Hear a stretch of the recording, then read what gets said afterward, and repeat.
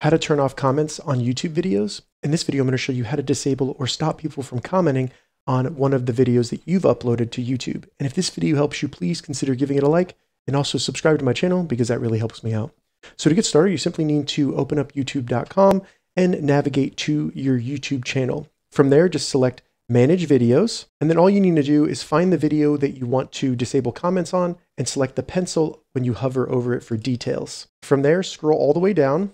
And once you get to the bottom, you'll see comments and ratings. And all you need to do is find comments and select that. And you can either pause it or you can turn off comments. So if I select turn off comments, then save in the top right. Now, when I go to that video, you can see that the comments have been turned off. Additionally, if you're trying to turn off comments while uploading a video, simply from the details page, scroll down. And again, at the very bottom, you'll see comments. Just go ahead and select off. And then when you post that video, comments will be turned off. If this video helped you, give it a thumbs up and also subscribe to my channel because that really helps me out.